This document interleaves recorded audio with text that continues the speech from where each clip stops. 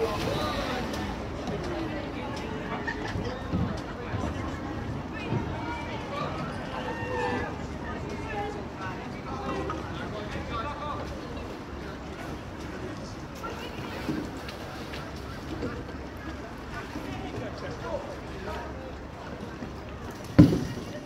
back to four man one.